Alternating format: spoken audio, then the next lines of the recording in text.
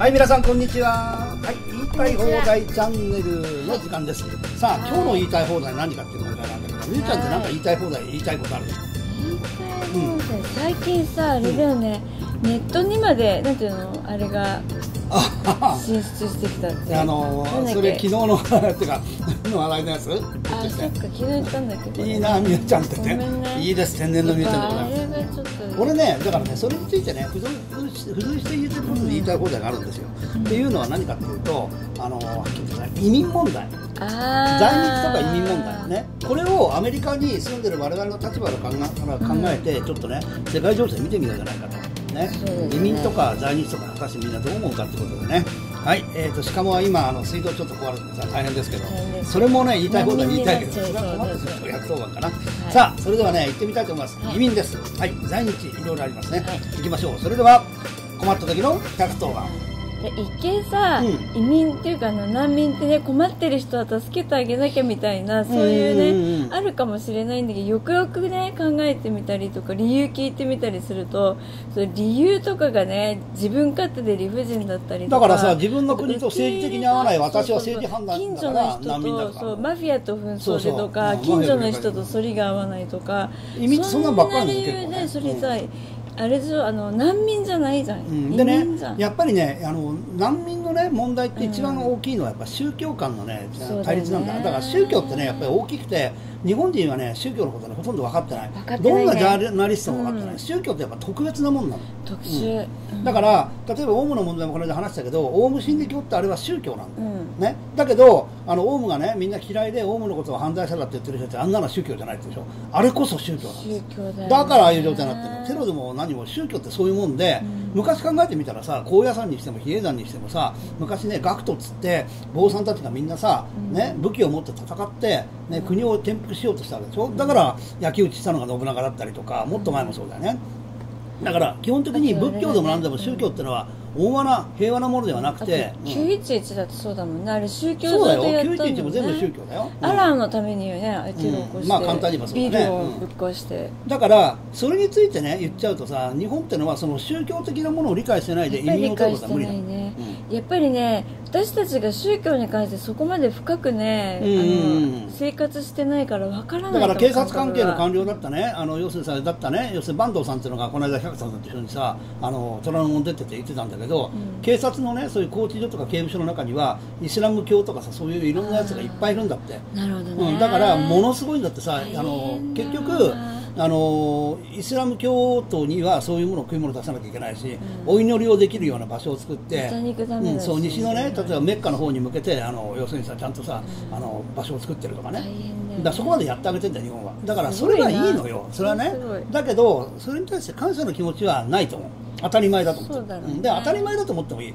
だから当たり前だと思ってる人たちには日本は合わないから合わないね。来ないでってこういう感じだよね。ね。無理だね。日本っていう環境はそういう環境ではないから、だね、から結論的に日本人に帰化する人とかさなってほしい人っていうのは、日本に忠誠をね誓ってくれた人じゃないとダメだから。だからさアメリカのさ、グリーンカードのさ申請みたいにやっぱりこう価値がある人だったらいいですよとかさそうそうそうそう。うん。そういう試験っていうの、うん。あるべきだよね。だって俺たち忠誠誓ってんだからさこのね、うん。あの国の中でね、うん、だからそうじゃない限り欲しくないでしょだから例えば政治家もそうだしそれこそ宗教もそうだし自由でいいから日の丸をちゃんとね掲げて、国家は斉唱できるようなもんじゃない。国会の中どうなってんの反日だらけばね。だからアメリカでねやっぱり俺たちが生活してて思うのは韓国はやっぱりね反日だけじゃなくて反米も含めてうん。好き勝手なことやってるんだよ韓国人の。要するに在日系のアメリカ人。でも何でもね。在日の日本人もそうだと思うの。だから韓国とか北朝鮮ってくくりじゃなくて朝鮮民族っていうもの自体が日本の列島に来た時に自分たちの、ね、生活を主張するわけで、ね。ね。自分たちを主張する。だからそれはそれでいいんだけどそれを認めてる日本がいけないでしょだからそれは朝鮮総理でも弁護士だってさ、なんか最近のまたね、なんか裁判に提訴するっていうのがあったんだけど、弁護士が何かのことで、あの在日だってことでさ、全部ね、あの解雇されたと、うん。ね、あのそれはね、もう要するに、ね、差別だと、差別じゃないですだから金っていう名前の姓を持ってる人たちが、あの全部在日だからで差別されたって言うんだけど、差別じゃないいやだからさ、俺は少なくともどんなことそうそれはまたね、朝鮮総連とかさああいうのの見方してさ、朝鮮学校の無償化戦ってる人たちだから、俺たちにとっては敵だし、悪いやつなん敵だよね。日悪いやの敵だうんよ。ねだからみんなね分かってほしいのはさ、例えばもうこれもねフィズムっていうさマジックの世界大会やってて俺がね行かない理由をさちょっと面白おかしく話したけど、うん。書いたんだけど俺行って日の丸振ったらみんな日本人どうする？みんなやめなさいよって言うよ。俺に。多分言うと思わない？みんな言わない自信ある？一緒に振るかい？一緒に振る。触れる人いるかってことなんだよ。振る。まあせいぜいやってくれるのレフティーとかさ。俺の仲のいいね。だってうん。自分の国を応援できなくてどうするの？だって他の国だって自分の国の旗持ってくんでしょ？いなんで日本だわかんないけけいけないのどだから日本が来ちゃいけないっていうのがあるね。あ今誰か来たんでちょっとストップしましょう。はいはい、えーということでございまして、今、あのうちのね、あのうちのっていうか、このシカモアの全部いろいろ水回りとかやってくれてるサントス君が来て、トイレの、えー洗面所のね、えー修理始めちゃったんでね、一回ね、中止しました。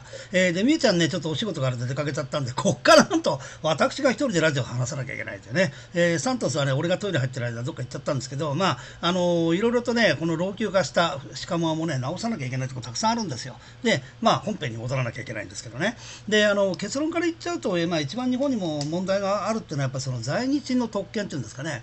要するに、なんでこんなに在日ばっかし良くされなきゃいけないんだろうと。要するに韓国人は大事で日本人は我慢しなさいと。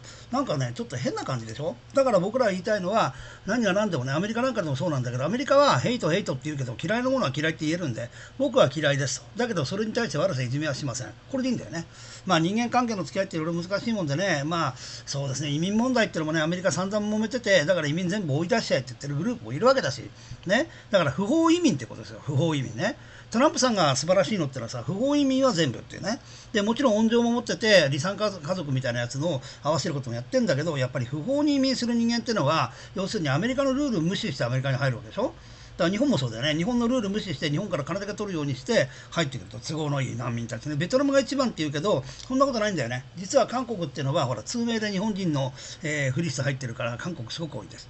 だから犯罪者も韓国の人は、韓国名を言わないんだよ。ね、そうでしょ？要するにみんな韓国人の人たちは通名と言われる日本人名で言って、なぜならば、えー本名だともうかわいそうだからっていうね。戻った時にまた戻ってこれないとかさね。そこら辺もおかしいわけですよ。だから基本的に我々はこれこれからねその日韓問題とかいう時にやっぱり少し考えていかなきゃいけないことがいっぱいあると思います。だから日本人の意識として例えば僕がさっき最初に言ったけどなんか一人で喋っててなんか変だな。まあいいや。あのフィズム行って旗食ったらどうなの？日本の。はっきり言ってね、えー、とフラ様のコンベンションの時に、えー、と白洲子屋さんが、えー肉に日本の旗立っただけで、えー一緒にいた UFO 人はすごく嫌な顔するんです。わかる？だからコンプレックスもあるだろうけど、どっちにしろ日本人は日本の旗を振って悪いわけがないでしょ？メキシコでは散々振るけど、だからフィズムなんか行った時は絶対言われると思う。それもね、日本人にも言われる。だからおかしいんだよね。アメ例えばさ、韓国人の嫌なことをさ、言うのやめた方がいいよとかね。日本人の嫌なことはじゃあ我慢して韓国人のっていうのか？俺たちは俺たちの国の旗を振ってる悪いことしてるわけじゃないわけだ。それを悪いことって言うんだったら、やっぱりそれは国民性も何も悪いってことで、我々がね、そんなことでね、あれするのはね、ちょっといけないですね。と思いました。うん。まあね、なんかサントス君がね、トイレのあれ割っちゃったんで、最後の話として、そのトイレ水回りの話なんだけど、しかもは古いんだ、ここ。だからね、いろんなとこ壊れてくの。で、この間もね、戸棚が壊れちゃって、要するにもうすごいんだ。要するに取っ手だけ取取っ手っていうかね、あの戸棚のその表のなんだろう木のとこだけ全部取れちゃってそれで中のやつが出てこないと。でこれね直してもらったんだけど相変わらず硬いです。サントス君だからね。サントス君がやると、え水道の逆地は右と左が逆回しになっちゃったりとかね。これもね本当に困ったもんでね。でもすごくいいやつですからね。皆さんあのシカモアにもしかして来るようなことがあったらあサントスだとかね。ミゲールだと。サントスはいいやつです。すごくね。ただ英語喋れない。でミゲールは英語が喋れるけどずるいです。